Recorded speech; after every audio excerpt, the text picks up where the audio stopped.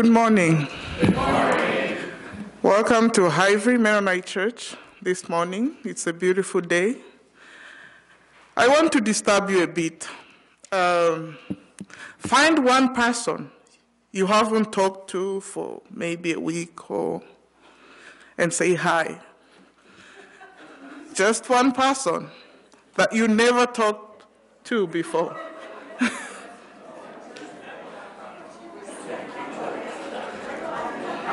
You have, you have, you have two minutes because we started early. So just find one person.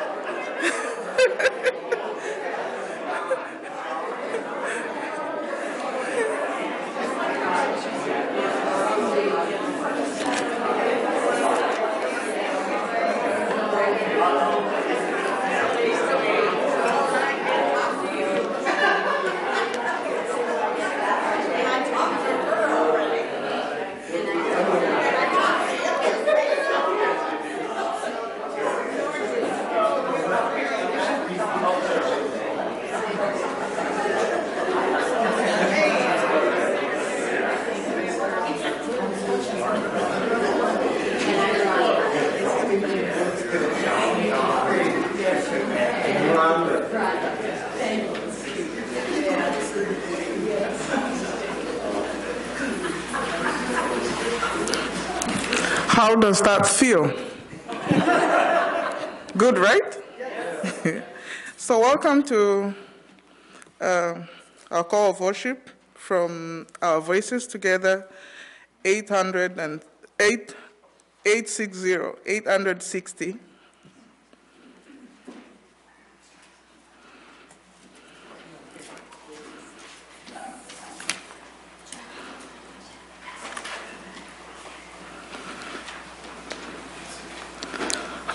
Almighty God, to you all hearts are open, all desires are known, and from you no secrets are, are hidden.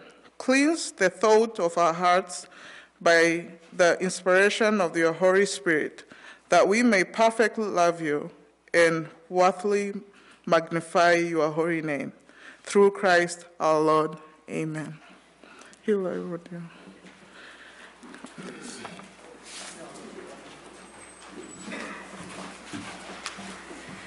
Good morning. I invite us to sing together, and if we're able, um, we'll stand to sing. We're going to start with number 367, and I invite the singing group to join us, and Janet is going to sing with us as well. We, as a group up here, will sing verse 1 in Swahili to introduce it a little bit, and then we invite you all to join us singing verse 1 in Swahili again, and then we will all sing verse 1 in English. 367, and I invite us to stand.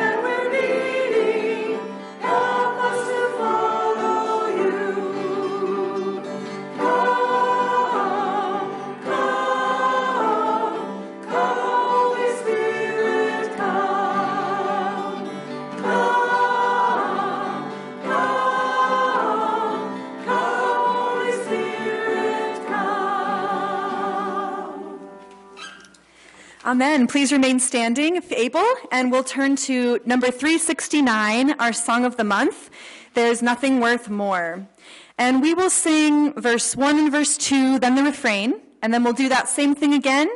We'll go into the bridge twice and then end on the refrain, and I'll call it out.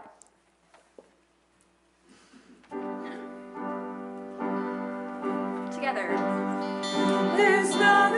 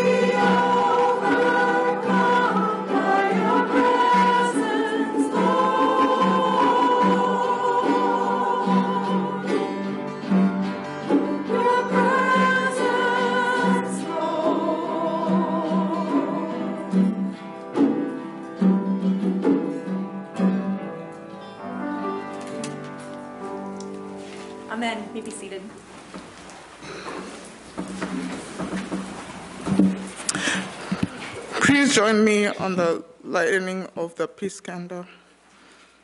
God of peace. Christ of peace, Spirit of peace, you are calling us to be peacemakers. Today we light this candle as a reminder of our calling. Our confession time today is very different. Different. We are going to sing a song rather than um, expressing ourselves in words. So, Ira, would you come?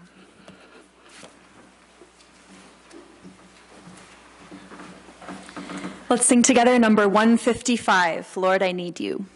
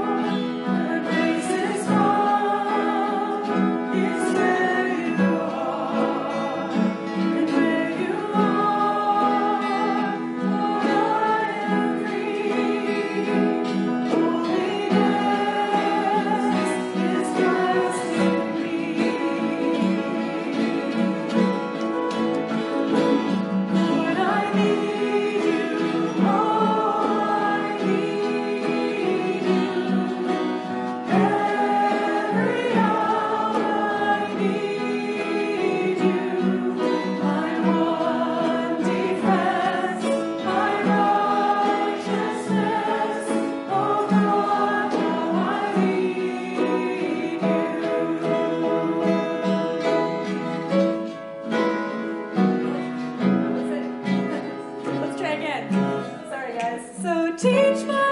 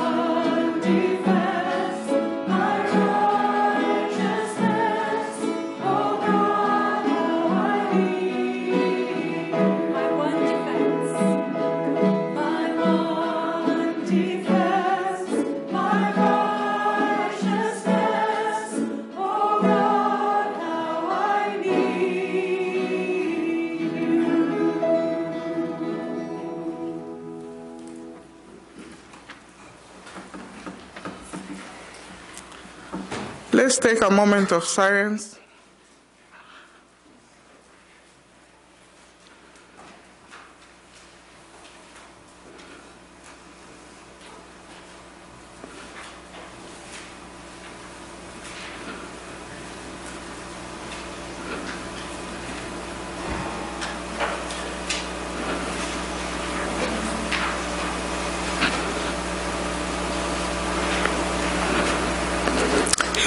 You come again for the hymn of assurance?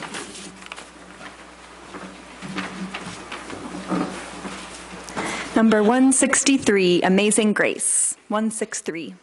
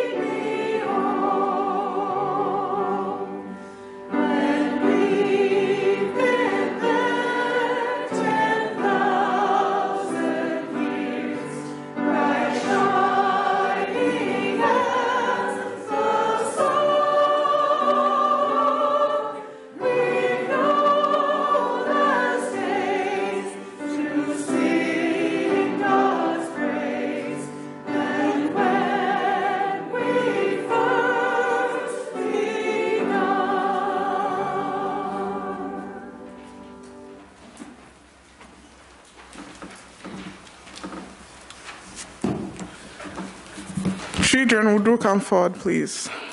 Children,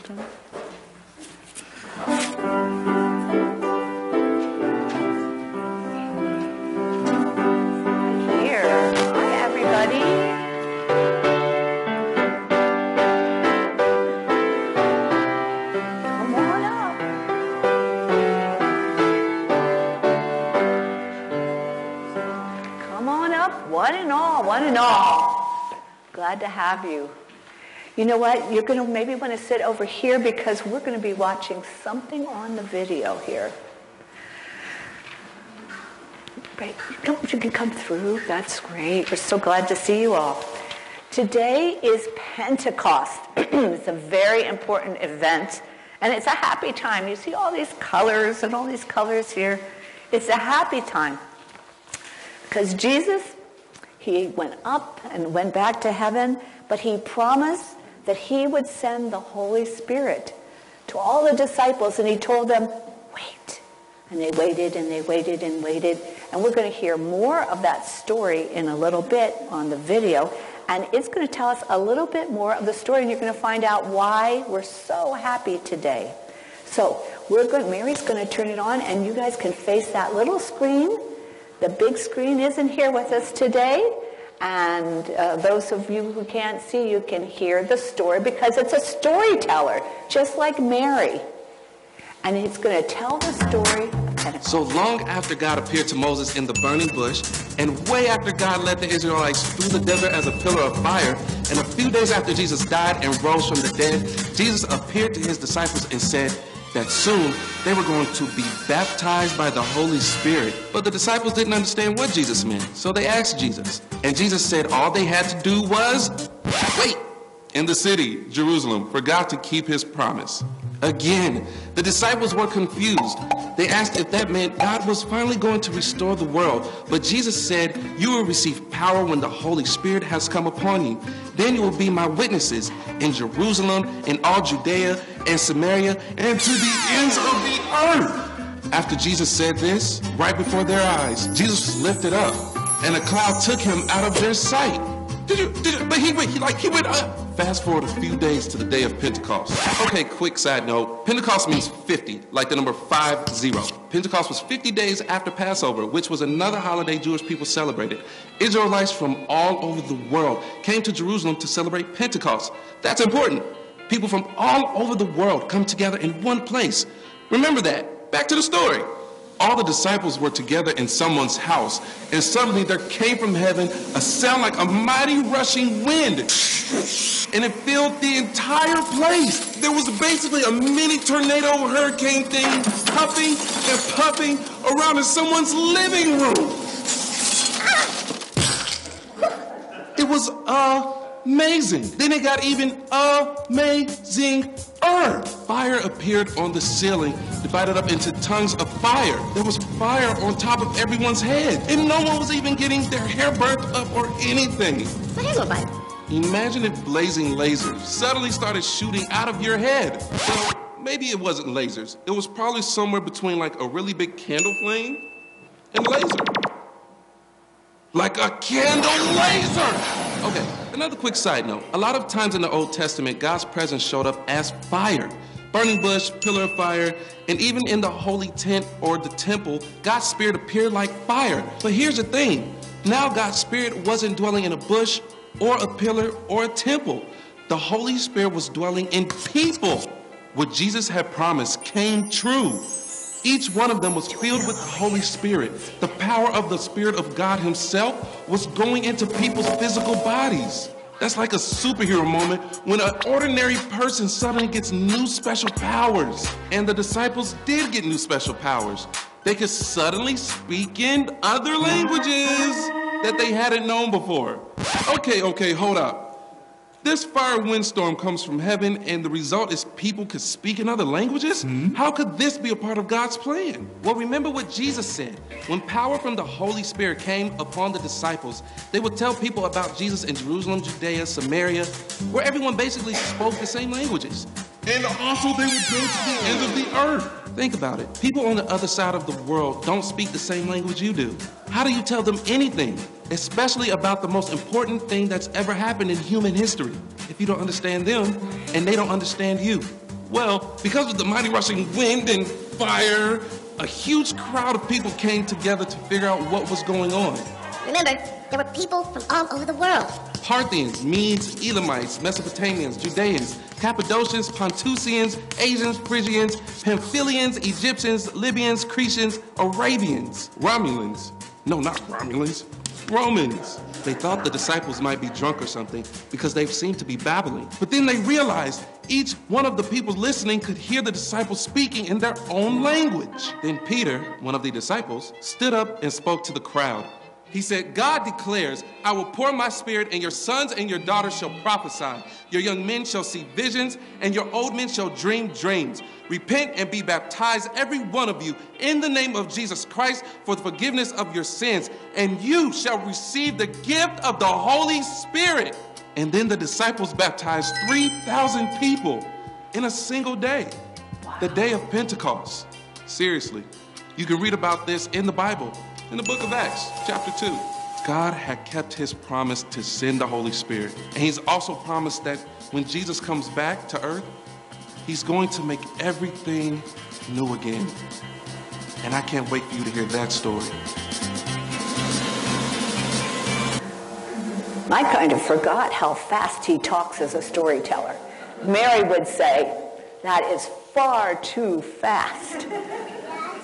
Was that really fast? Like, blah, blah, blah, blah, blah, blah. Did you get any of the story, though? Even though that, you know, there were some exciting parts there, and there are exciting parts. Just imagine Pastor Tim starting to preach. Okay, there he's preaching away. All of a sudden, he starts speaking Swahili, Woo. or Hmong, oh, or Hindi. ah. And some of you would go, wait, he's not speaking English anymore. And that was an exciting time when everybody could hear the message of God. But you know, that was then, but that doesn't mean it's not now. We all have the Holy Spirit with us, and lots better than Spider Man. We have power. And today, the Spirit comforts, guides us, holds our hand, and gives us strength to face our problems. So we have something to celebrate. Greg told me, don't get it all over everything. So I'm, I'm going to put it on here. Yay! It's the Holy Spirit. See, I got it just here. All right, some on me. So let's go ahead and have a prayer. Thank you for giving us a comfort, mothering spirit who is always with us. May we share that love of God with others and keep us safe this summer as we pray together. Amen. Thank you.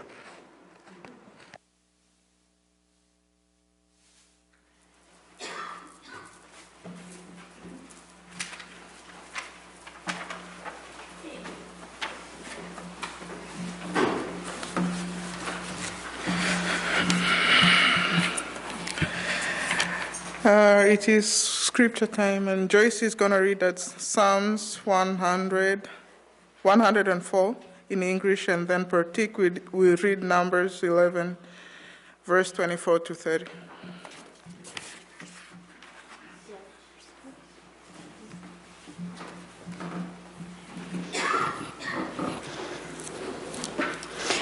Praise the Lord, O my soul. O Lord my God, you are very great.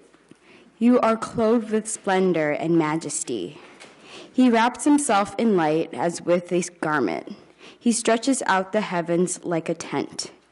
He lays the beams of his upper chambers on their waters. He makes the clouds his chariot and rides on the wings of the wind. He makes the wind his messengers, flames of fire his servants. He set the earth on its foundations, it can never be moved. You covered it with deep as with the garment. The waters stood above the mountains. But as your rebuke to the waters fled, and the sound of your thunder they took to fight. They flowed over the mountains. They went down into the valleys, to the place you assigned for them. You set a boundary they cannot cross. Never again will they cover the earth. He makes springs pour water into ravines. It flows between the mountains. They give water to all the beasts of the field. The wild donkey quench their thirst. The birds of the air nest by their waters. They sing among their branches. They, he waters the mountains from his upper chambers. The earth is satisfied by the fruit of his work. He makes grass grow for the cattle and plants the man to cultivate. Bring forth food from the earth, wine that gladdens the heart of man, oil to make his face shine, and bread that sustains his heart. The trees of the Lord are well watered, and cedars of Lebanon that he planted. There the birds make their nests. The stork has his home in the pine trees. The high mountains belong to the wild goats, the crags of the refuge for the conies. The moon marks off the seasons, and the sun shows, knows when to go down. You bring darkness, it becomes night, and all the beasts of the forest prowl. The lions roar for their prey and seek the food from God. The sun rises and they steal away. They return and lie down in their dens. The man goes out to his work and his labor until evening. How many are your works, O Lord? In wisdom you make them all. The earth is full of your creatures. There is a sea, vast and spacious, teeming with creatures beyond number, living things beyond large and small. There are ships to go to and fro, and the Leviathan which you formed to frolic there. These all look to you to give them their food of proper time. When you give it to them, they gather it up. When you open it, open your hand, they are satisfied with good things. When you hide your face, they are terrified. When you take away their breath, they die and return to dust. When you send your spirit, they are created, and you renew the face of the earth. May the glory of the Lord endure forever. May the Lord rejoice in his works. He who knows at the earth and it trembles, who touches the mountains and they smoke. I will sing to the Lord all my life. I will sing praise to my God as long as I live. May my meditation be pleasing to him, as I rejoice in the Lord. But may sinners vanish from the earth, and the wicked be no more. Praise the Lord, O my soul. Praise the Lord.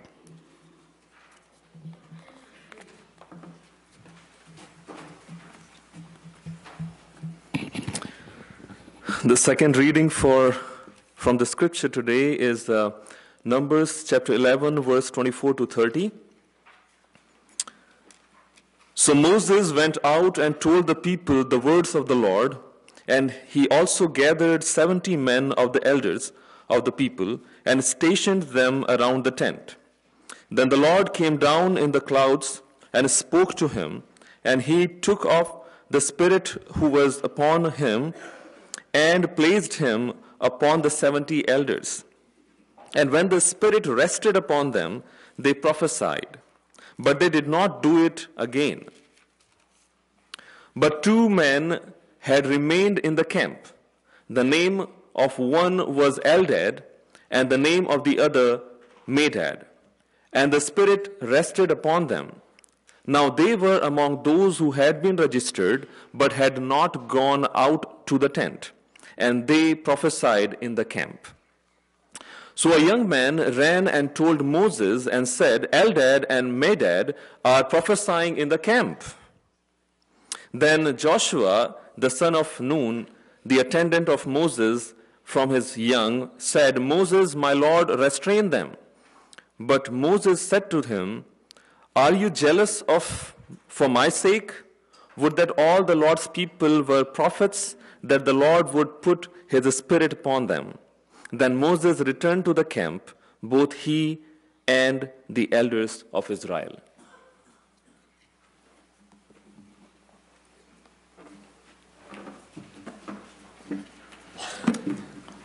Thank you, Pratik and uh, Joyce.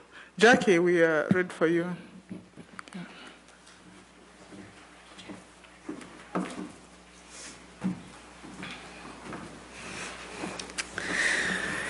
Happy Pentecost, everyone. We don't often say that. Happy Easter, Merry Christmas, but happy Pentecost. It is lovely to be here. Um, I've already told some of you that I was stunned to see that it was 23 years ago that I was a pastoral intern here. And um, I was only, in the year 2000, I was 25 years old. So you did not look down on me because I was young. You gave, like Paul would advise you, you gave me a chance. And I, looking back, I am just so honored that you um, opened your arms to me, especially when your pastor was in Europe on sabbatical, right? And I, as I think back at that summer, I'm just so grateful for the team of elders that worked with me. Um, Erland Waltner of blessed memory was a great support. Um, it was a very formative time for me, and I and, and I, I feel very blessed that you gave me that chance when I was figuring out my own identity and calling. Um, and it's so good to be back. I'm grateful for the video, the very animated video today, especially since we didn't read from Acts chapter 2. Um, and as we think about Pentecost, I think that's the story that dances in our minds, right? That's what we imagine. It infuses our imaginations when we hear Pentecost. The, the Spirit poured out, tongues of fire resting on their heads. We might even think about this as the Pentecost story, kind of like we think of the Christmas story or the Easter story. But Pentecost was a Jewish holiday that occurred yearly. So this, this story that we think of as the original Pentecost story isn't actually the first Pentecost. Instead, it's the story of something significant that happened on Pentecost, on that Jewish feast day, when the disciples were gathered together to celebrate. And Jews today still celebrate Pentecost called Shavuot, or the Festival of Weeks. And because Passover and Easter lined up pretty well this year, it turns out that Jewish folks finished up their Shavuot festival yesterday, and so quite close to our own Pentecost Sunday. And just some fun facts, because today we're going to get a little bit nerdy about festivals and the book of Numbers. Hope you're ready for it. Um, Shavuot, or the Festival of Weeks, occurs seven weeks after Passover, as the video said, on the 50th day, and hence its Greek name, Pentecost. It's one of three festivals historically that would bring the Jewish people to Jerusalem on a pilgrimage, thus, the international crowd of Jewish folks in Jerusalem in Acts 2. It was a harvest festival where people brought the first fruits in anticipation of God blessing the remainder. It's also the day commemorating the Israelites receiving God's gift of Torah. So, our, our Jewish siblings over the past couple of days, as they worshiped at their synagogues, um, celebrated Shavuot by attending services in which the Ten Commandments were highlighted.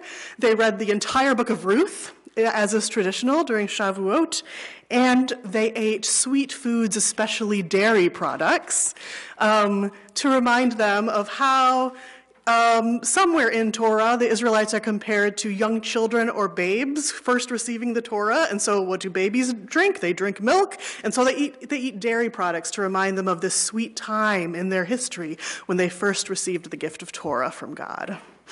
And so, this is the festival that was being celebrated, that had been celebrated for many years in Jerusalem in Acts 2, when when our story of Pentecost in Acts, the Christian story of Pentecost, takes place. Something remarkable happened on that festival the Spirit's appearance. However it, remarkable it was, it was not unique. In fact, it follows in a robust biblical tradition of the Spirit falling on people, the Spirit rushing into people, the Spirit empowering people. Think of, first of all, the wind, the Spirit of God in Genesis 1 at the creation of the world. Think of the breath of God animating the first human in Genesis 2. That too is Spirit. You might know stories about Gideon or Samson or the much less well renowned Othniel, all judges upon whom the Spirit of God rushed upon them and empowered them to do big projects. Ezekiel the prophet testified that the Spirit of God fell upon him too. And think about Elisha. Elisha, who, who was the, the student of Elijah, and Elisha requested that God grant him a double portion of his mentor Elijah's spirit. And later, those observing Elisha could tell the spirit of Elijah is upon him. So the Spirit of God fell on humans, filled humans, empowered humans, all throughout the biblical tradition. So what happened in Acts 2 was remarkable, but it also followed on, it followed on, it, it, it, it, it built on, it connected to stories from the Jewish scriptures that the disciples and their audience would have known. So in the Bible, the Spirit moves and stirs and rushes and fills. And in Acts, the tongues of fire rest, rest on the heads of the people. The Spirit also rests on the prophets in Numbers. Spirit at rest. I'm intrigued by the language of, of, of these tongues of fire resting, of the Spirit resting. Um, it literally, the, the, literally, it's just the word for sitting in Greek. I looked it up just because I was like, is it rest in the New Testament? The, the, the tongues of fire just sit there like your head is the, is the seat for them, the throne for them, right? We often associate the Spirit with action and power and charisma and movement. To be inspired is to be filled with life and zest, right? But the Spirit also dwells, fills, settles, and is at rest and present and steady with us. Maybe like a garment or like the warmth of the summer sun, something that fills us and stays with us. In Numbers, the Spirit rested upon the 70 elders of Israel chosen to assist Moses. Now, Moses was stressed out. Moses went to God in a very forlorn state, right? He needed help, God decided, and so God instructed these 70 elders to assist Moses in leading the people. The Spirit also rested upon the two named prophets in this story, Eldad and Medad. Note the Spirit's journey. The Spirit first was on Moses. Moses had the Spirit of God, he was the leader, that's all they needed. But some of that Spirit, that's what it says, some of that Spirit was taken and distributed and placed upon the 70. And after that happened, then they prophesied. Same thing with Eldad and Medad. The Spirit rested, then they prophesied. Now, a little side note Eldad and Medad, we don't hear a lot about them. They only appear here in the Bible. But their names might mean something like about love. They might be related to one of the, one of the Hebrew words for love, yadad. Hear that dad at the end of each one of those? Eldad, Medad. So to name a child Eldad might mean God loves. God loves this child, perhaps. Medad could mean who is loved, as in, this is one who is loved. So these are positive, complementary, favorable, auspicious names, right? They indicate divine favor. When we hear these names, we expect good things. And yet their actions were critiqued by some. Let's zoom out for a minute and get a little bit um, get a little bit nerdy about the whole Numbers 11, right? Because this is a long chapter with a lot of stuff going on. Eldad and Medad and the story of the Spirit upon them is a story within a story. The larger story of Numbers 11 has been puzzling because it blends two sets of concerns. Moses, as I said, on the edge of burnout, um, needing something to change, and then the shared prophecy, which is the response to that. And then on the other hand, the people who can't bear their monotonous diet of divinely provided manna anymore. So, what do these two stories have to do with one another? Well, God is presented with requests in these stories.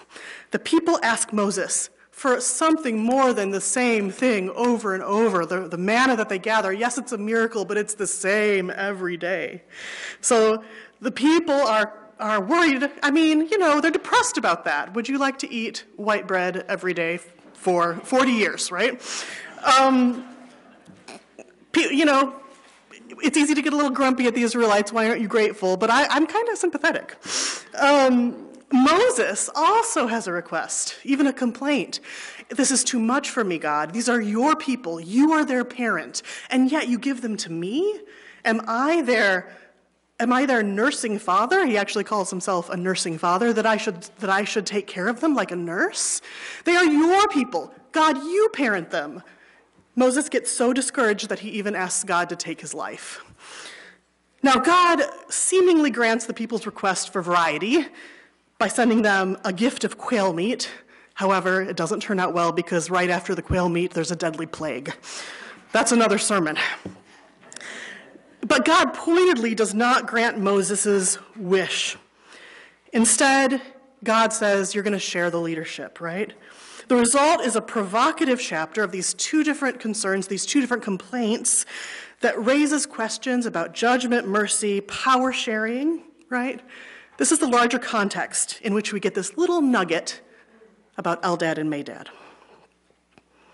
So, within that larger complex story is the account of shared prophetic work made possible by the Spirit of God at rest upon a community.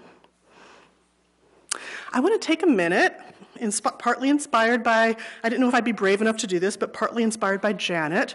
I'm going to invite you to talk to one another for a minute. Um, and I want you to imagine, consider, when you heard this story and you heard that the Spirit rested on these prophets and then they started prophesying, what did you picture happening? What did they do? What does it mean that they started prophesying? Does it involve actions or words? Something else? Because we're not told what that means in this context, and the Bible gives us varied models of what it means to be a prophet. When Eldad and Medad, the Spirit rested upon them, they started prophesying, everybody noticed and was like, what are they doing? They're not with the official 70 that are, that are supposed to do this. They're just out in the middle of normal folks prophesying. What do you imagine happening? What are they doing? Take a minute to get in touch with your imagination. What did you picture? What do you expect? And then we're going to take one minute. I'm going to time us. I can see the clock in the second hand to share with your neighbor what you pictured when I said they prophesied.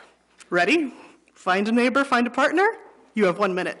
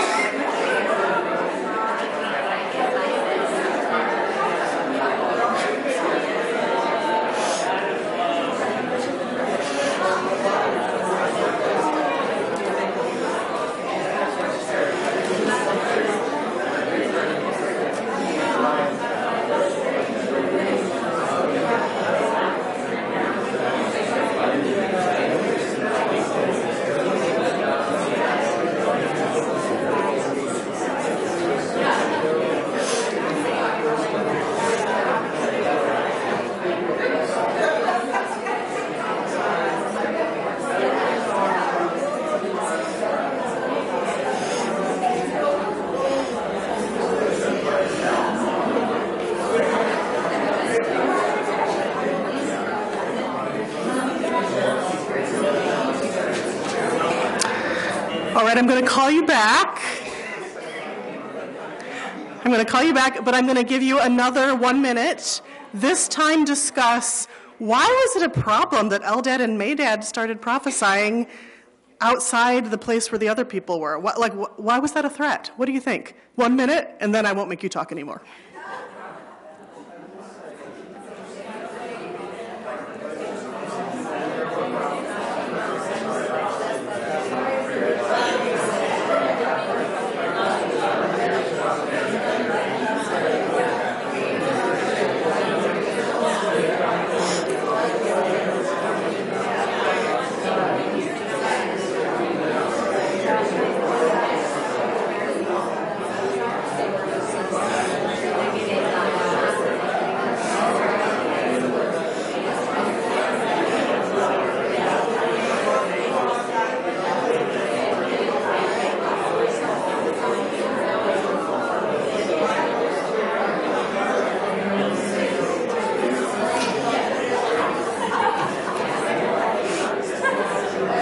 All right, take about five seconds to finish up.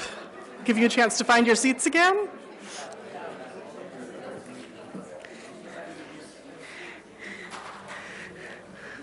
All right, if you're brave enough, raise your hand if this is what you said. Did you imagine um, spoken words as a part of prophecy? Okay, a lot of people. Did you imagine um, having visions? Yeah, we've got a couple. How about um, ecstatic movement? Maybe dance, maybe some other kind of bodily movement. Did you did you expect them to be silent and meditative? Anybody? Not necessarily. Was this active and disruptive? How many of you thought it was an active and disruptive? Okay. Yeah. Now, we are not told what it meant that they prophesied. Um, I am kind of convinced, I'm pretty convinced, by one scholar named John Levison, that probably what is intended here is not an ecstatic frenzy, but rather a community, a communal visionary experience. That doesn't mean they were silent necessarily, but rather than everybody sort of prophesying chaotically at the same time something different, the shared leadership of this passage, this scholar thinks, indicates a shared visionary communal experience. And one of the reasons is because the only other time that Moses hangs out with 70 elders and shares leadership with them is in the book of Exodus, chapter 24. When, this is one of my favorite stories in the Hebrew scriptures because it's just so weird. Um, they ascend a mountain. They have a communal vision and behold God who is standing on a pavement of sapphire. Like, you're not supposed to see God, right? That's supposed to be too powerful for humans to bear. But here they see God, and then they sit down and have, a, have dinner with God at the top of the mountain. Like, and so th- that shared visionary experience uses some of the same vocabulary. The 70 elders are there. So this scholar thinks maybe that's what's going on. But other scholars think it was more chaotic and frenzied. We don't know for sure. But it's interesting that prophecy, prophesying, might bring up something different for all of us when we try to imagine the story playing out. Now, about Eldad and Medad, Joshua has a problem with them, but Moses doesn't, right? Eldad and Medad, the problem might be how many of you said in your discussion that the problem was that they were prophesying in the wrong location? Did anyone say that? Because they weren't with the other prophets. They were like not around the, the tabernacle where God dwelled, right? In their midst. They were just out with the normal folks. So it might be location. How many of you said that they weren't on the list? They weren't among the 70 people that were supposed to get the Spirit. Okay? So scholars say both those things, and some scholars think it was one, some scholars think it was the other. Um, some scholars are like, no, they were on the list, they just weren't in the right place. Others are like, no, they were not on the list. This is just the Spirit spilling out on people that weren't officially sanctioned. In either case, that sort of disorderly, outside of the approved chain of command, right, from God to Moses to the 70, Joshua, Moses' support and assistant, perceived it as a potential threat, maybe, I think, right? Maybe if everybody saw Medad and Eldad, maybe the other prophets had a little privacy, but everybody saw what Eldad and Medad were up to, would they find them more compelling leaders than Moses? Would this lead to division? But Moses wasn't worried. Moses said, Don't be jealous on my behalf. Would that all the Lord's people were prophets. In this moment, Moses goes from saying, God, end my life, I cannot handle my lot, to would that all the Lord's people be prophets. I wonder if sharing the work in that communal visionary experience, if that was such a profound experience of the Spirit resting upon Moses and the 70, plus Eldad and Medad, I wonder if that was a transformative experience for Moses, where he was able to, well, himself be transformed, relax into leadership because he had a community of support that was helping him. Now, I would be remiss if I didn't tell you that some interpreters think Moses is being sarcastic because he still doesn't like being a prophet, and so he like wishes something that's loathsome on the people. But I don't agree with them. I don't agree with them. I think that Moses is, is portrayed as going through a kind of transformation.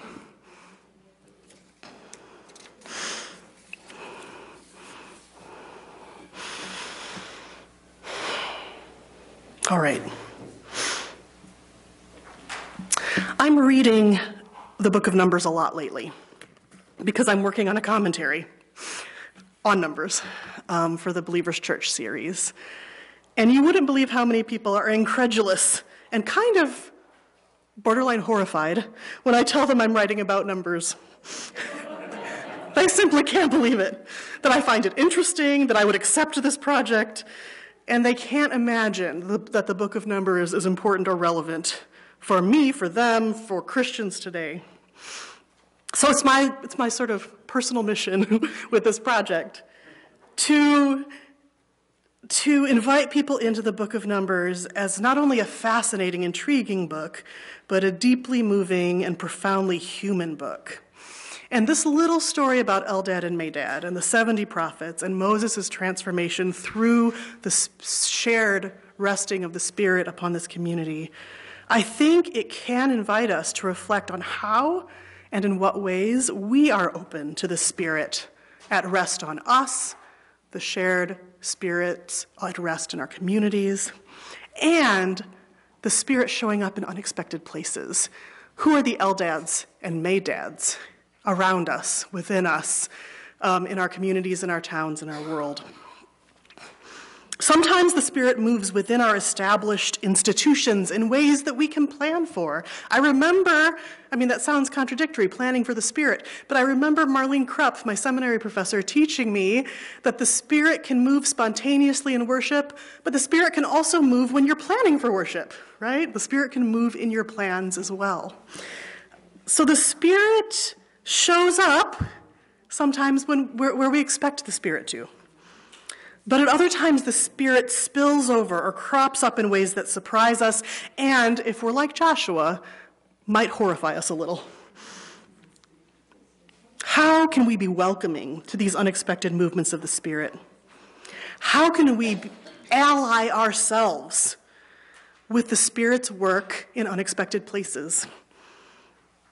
Wherever God's Spirit is active in the world, with or without our knowledge, with or without our permission, with or without our approval, there is love, just like in Medad and Eldad's names. There is power, there is goodness, there is God. Can we join in that unexpected work? As I move toward closing, I want to tell one story um, from my time working in the Netherlands, which is a long time ago now, between 2002 and 2007. I think I visited Hively once um, to talk about it um, many years ago. But one of the projects that we embarked on together, I worked in a community center um, funded by the Dutch Mennonites, and I was, my work was sponsored by Mennonite Mission Network. And we worked at community building and being a house of hospitality for a neighborhood that was uh, newly built, pretty newly built, and pretty diverse in terms of who lived there. And we had this project. It was, wasn't my project. I arrived and they were already starting this project, and I joined in. It was a community cookbook. And my colleagues were so excited. They're like, this will be a great way to build community, a great way to get to know our neighbors, a great, a great way to, um, to really sort of get over the Dutch um, reserve about, about, about getting to know people different um, from you. I think, I mean, I share that reserve sometimes. I think that can be found in all cultures, but there is sort of a Western European reserve that they wanted to sort of find a way to find a, an avenue for Dutch people and people from other cultural backgrounds to, work, to be in this shared project together, get to know each other, and build community. And so we sent out invitations. We, every single house in the neighborhood got an invitation to send in a recipe. We felt very self satisfied. What a great project. Our mailbox was going to flood with recipes. This was going to be so great. We got three recipes. and so we're like, okay, we got to strategize. We were trying to do this project on our terms, and people were probably like, what is this weird project, and threw it away, right? So we got out of our comfort zone and started going two by two to give each other courage, knocking on doors, and telling people about the project inviting them to participate. And that resulted, several years later, in an actual community cookbook that included recipes, photos, and stories about the recipes. We had to let go of how we thought the Spirit was going to move in this project and actually go to where the Spirit was already moving. The folks in the neighborhood were not, you know, sitting around twiddling their thumbs saying, thank goodness there's this cookbook project I can participate in. They had rich, full lives. And we, we needed to work harder to connect, to see what they were up to, to um, explain why we were interested in this. It was a learning experience for us. How, I don't know how that translates into your own experience. I don't know where the Eldads and Medads are at Hively, in Elkhart, in Goshen, um, in this area, but they're there. The Spirit is at work in unexpected places, I'm sure of that.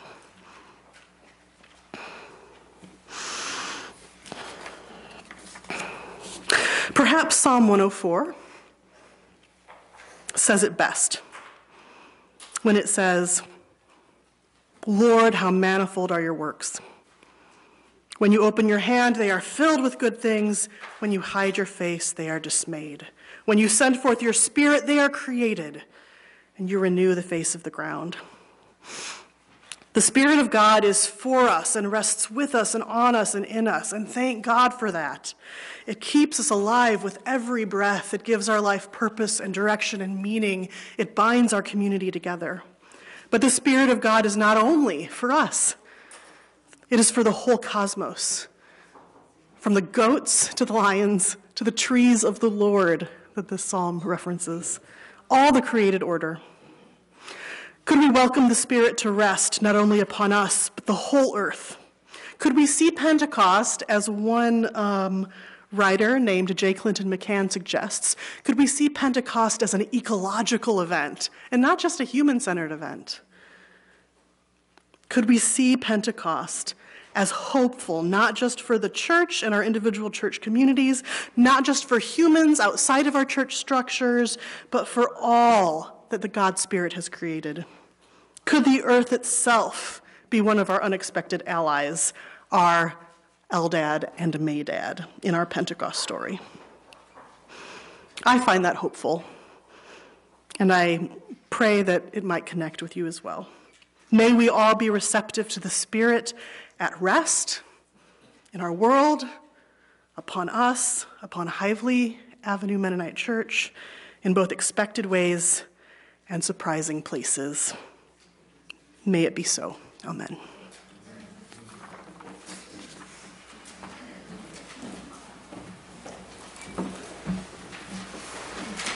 Our song of response will be number 436, O Lord my God, also known as How Great Thou Art, 436. And I invite us to stand to sing together.